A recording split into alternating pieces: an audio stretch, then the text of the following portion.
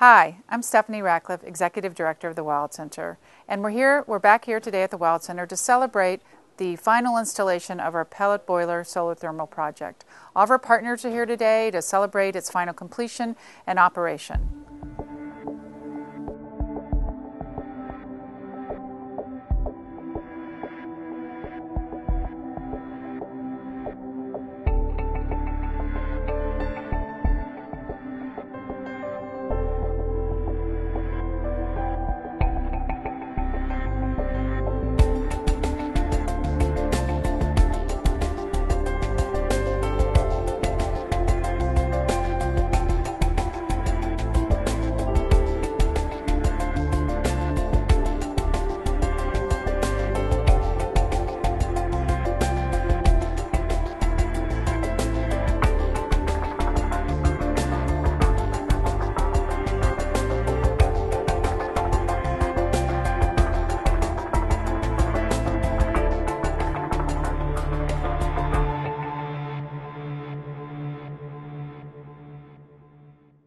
And it's great to be here almost a year later after starting this project last July and say that um, our pellet boiler and solar thermal project is officially up and running and working, and you see it here behind you. It's important to us because from the very beginning days when we built this building, um, and we were um, really seeking to be a sustain, sustainable practice in everything that we do, and also the, the, architecture, our site. This is just one more of those things that add to our daily um, practice of trying to figure out how to uh, work better with nature. And what I really love about this project is this sort of localized energy cycle we have going on. That you know, a tree, you know, not more than 100 miles away can be um, harvested, um, go to pellet plant and come back and just, you know, have this local energy cycle where it's not even leaving the park and it's and it's heating all of our homes and our buildings here. The other thing I think is so interesting about this project, which um, we're going to share with everyone very openly, is the potential in heating some of our large commercial buildings here in the Adirondack. So the potential to sort of get that story out and to really demonstrate it and share everything that we're learning and the energy savings which we're going to have from this project, that's going to be really fun for, you know, in the next couple of years to continue to share that information. Behind me is our pellet storage container, um, and that is what stores all of the fuel for our boiler that is located in the basement. As you can see, it is a recycled shipping container. It's actually traveled the world and it's found its uh, final home here at the Wild Center where it serves another purpose, storing our wood pellets. We can hold about 20 to 25 tons of wood pellets in that container. On top of the container you see two types of solar collectors. These aren't photovoltaic collectors, they are solar thermal collectors, so they actually directly heat the water that's passing through them. So those uh, solar collectors play uh, an integral role in this combined project using both biomass and solar thermal energy. Um, we are using the water to not only heat our domestic water in our kitchen cafe, but we're also using it to augment our space heating needs. And we inject the heated water when it's no longer used by our kitchen into our space heating loop to actually heat the building. And that will become very, very important and beneficial to us during the shoulder heating months, typically of uh, April and May, and September and October when we still have a need to heat the building in the early morning hours.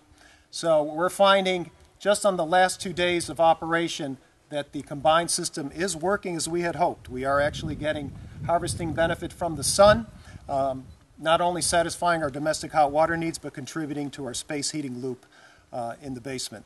This is the first boiler that we've manufactured in New York, this size, and we think that there's a, a, great opportunity to use a local resource, which is wood pellets or wood chips, and to keep the energy dollars recycled in the local economy. So we see a great opportunity for small businesses and schools to take advantage of this type of weather system. Well, our boiler will burn both wood chips and wood pellets, and it will directly replace oil, gas, or propane. And the advantage of the wood pellets is that I think Chris will confirm that uh, it's about 35% cheaper than the propane that you Actually, at, at, today's prices, the, the, heating value per dollar uh, of wood is about 40% better than propane, the, the other fossil fuel that we uh, were relying on in the past. In a cost per, uh, cost saving per ton of carbon, wood is a very effective way to reduce the region's carbon footprint by replacing fossil fuels with renewable wood. Throwing any excess heated water, if you will, to our space loop, our space heating loop. And our space heating loop is reflected by these large insulated pipes that you see here. This is the start of the run. It goes all around the museum. There's approximately 500 lineal feet of piping running through the basement of the museum with about 600 gallons of storage capacity. That in itself serves as another storage vessel that can store the solar energy for us and use it uh, to minimize the firing demand and the cycling of the wood pellet boiler. So on days like today, uh, during an ideal shoulder heating season um, situation, we are getting significant benefit from the solar energy heated hot water by it being passed into our hydronic loop and reducing the need to fire our wood-fired boiler. We can get the data that we need from each controller. Uh, the temperature on the collector right now is 199. Uh, the temperature at the bottom is 176 and the temperature at the top is 172. It's cool because we are delivering BTUs to help heat the wild center as we speak right now. So that energy that we're conveying now could possibly be used tomorrow morning. We'll have a full solar monitoring system which we are uh, now installing so that all of you will be able to go and get the information on the operation of this facility on the World Wide Web. One of the best parts of this project is not only that it's technically a success and that we've been able to verify the performance or in the process of verifying the performance of these two uh, integrated renewable energy systems through Clarkson University, but it's also part of the museum. And there's a new path exhibit, and these are not the first two stops on that new path. They have photovoltaic arrays, they have a living roof, they have a LEED certified building. Throughout the country, we're all trying to find ways to use energy more efficiently, to use renewable energy wherever we can.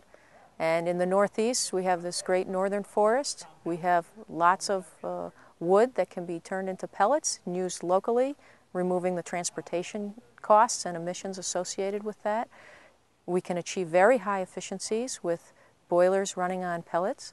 And this project is an example of a made in New York product that's a high efficiency boiler using a made in New York pellet that was manufactured locally. Hope you've enjoyed this video series as we've installed this project and learned all about the different aspects of it. We've been heating the Wild Center with our pellet boiler for about a month now and our solar system has been in operation for about a week. So it's so exciting for us to have all these uh, parts come together and actually heat our building. So next time you come to the Wild Center, we'll be able, you'll be able to walk around all aspects of the system. We'll take you to the basement. You can see the boiler. You can watch the pellets drop into our system. And you can come learn more about the details of how it all works together. So come visit the Wild Center and come see our new pellet boiler solar thermal system.